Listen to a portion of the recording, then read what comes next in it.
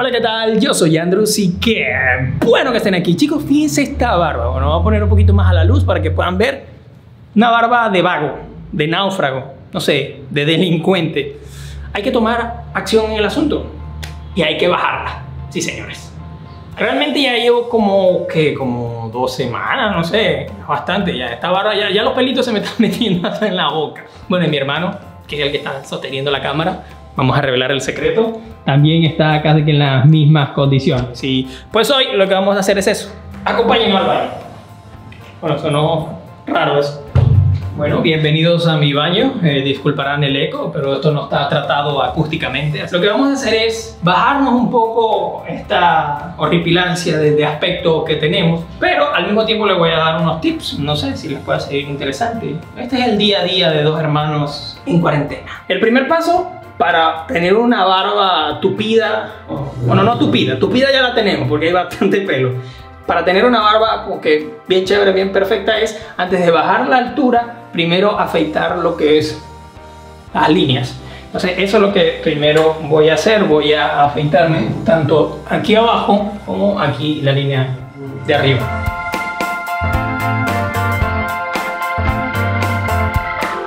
Sirve para personas que no tienen como que ese tiempo, y más que todo ahorita en cuarentena, que no tienen tanto tiempo para ir tanto a una barbería. Y que yo desde casi de los que 13 años ya me empezaban a salir pelo. A los 13. A mi hermano creo que a los 9.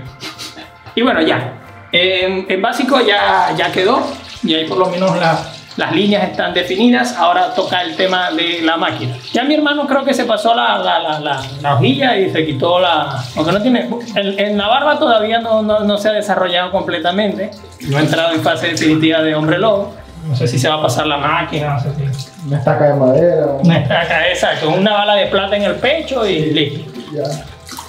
Yo creo que sí quedó bien la línea aquí, la línea acá, pero lo primero que vamos a hacer pasarle la máquina al nene, al bebé de la casa, conejillo de India. Si la máquina se atasca, que le arranque los pelos a él. Y aquí el que le va a pasar la máquina soy yo. Lubricamos un poquito, siempre la lubricación es muy importante. ¿Sí o no, Manuel? Para que no te haga daño. ¿Ok?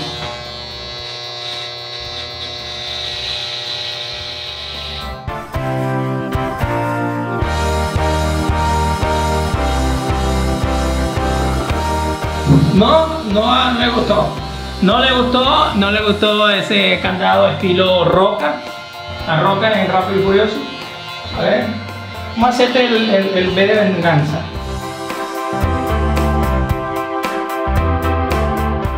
¿No gusta? No gusta. ¿No gusta? Ok. ¿Te volamos todo? Sí. Eh, Así un bigotico. Bigotico. Y ya está. La primera víctima. Bueno. Ay, su madre. Ahora vengo yo. ¿Confiamos? No.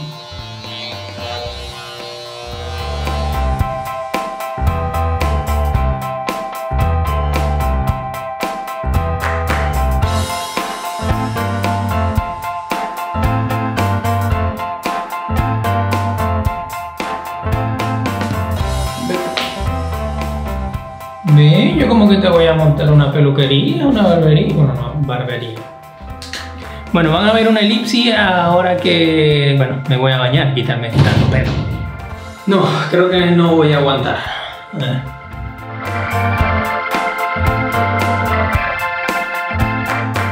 Fíjense acá.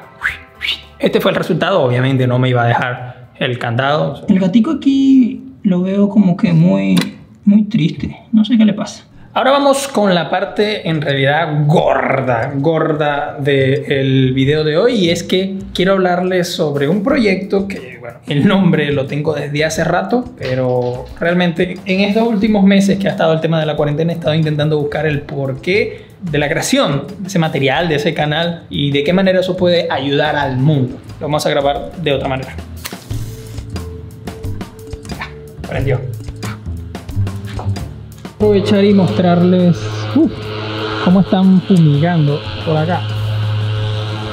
En este tiempo de cuarentena, ahorita están haciendo esto. No sé si se ve la neblina, pero parece que estuviéramos en Silent Hill. Bueno, en la cámara no se ve tanto. Eso no sé si es bueno o es malo, pero asumo que es bueno, así que... Ahora sí podrán escucharme como en un ASMR. Bueno, no sé qué tanto. Hola, ¿qué tal? Yo soy Andrews y qué bueno que estén aquí. Se preguntarán los que me están viendo por YouTube por qué hago esta introducción de nuevo y es que sí, señores, los he invitado a un episodio de un podcast. Sí, sí. Así que comenzamos directamente. No les voy a dar más explicaciones.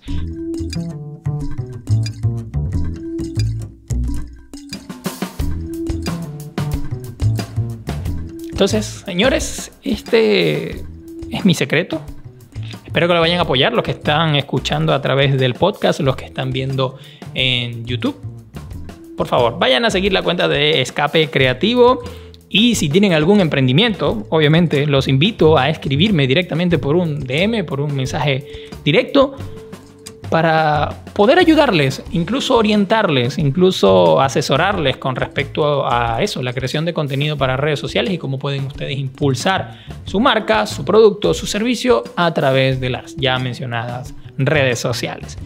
Y sin más nada, me despido chicos, espero que les haya gustado esta charla. A mí me ha encantado y me ha salido del alma, no la tenía planificada cuando me levanté esta mañana. Y sin nada, me despido. Yo soy Andrews y nos vemos en un próximo podcast. Y ustedes que están viendo por YouTube, si quieren escuchar el episodio completo, ya que acá en YouTube no lo han visto totalmente completo, totalmente completo creo que es redundante. sí, bastante redundante. Vayan en la descripción y van a tener un enlace a Spotify o Apple Podcast donde los va a llevar hacia mi podcast y pueden escuchar el episodio completo. Debo apagar la luz. Por cierto, dentro de poco, el primero de junio, Día del Niño, cumplo años. Espero poder hacerles un video antes de mi cumpleaños o quizás en el mismo cumpleaños. Sin más nada me despido chicos, yo soy Andrews y nos vemos en un próximo video.